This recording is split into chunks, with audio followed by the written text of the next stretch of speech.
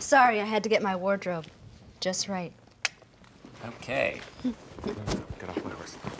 This is a separate. This is for actors, kid. This. You underestimate me, Draker. I convinced Henry over there, who convinced Olivia, that she needed both her big stars in this little commercial campaign. He liked the idea and the hand job. Let's roll on one, shall we? Would you like me You to know do what? I think we're good.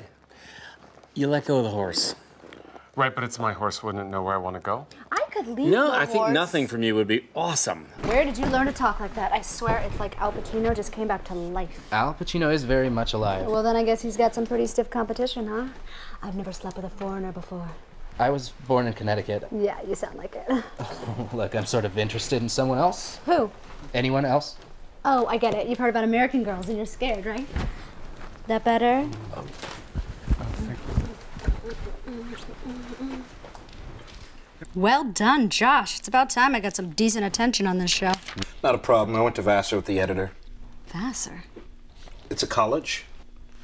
Um, Kit, can I talk to you for a second? Um, I'm eating. Um, it's kind of important. Uh, do you need help up in your high shirt? It's about Dad. Don't eat that.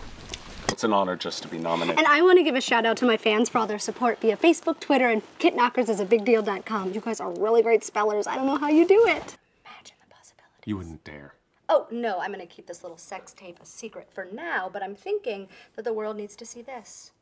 Remember last weekend when we snuck away for a little romantic tete a tete? I know what happened to our swimsuits. And no tan lines, you little minx. That is so clearly not me. Oh, no, that's your face on somebody else's body, which, by the way, you should thank me for because he's ripped.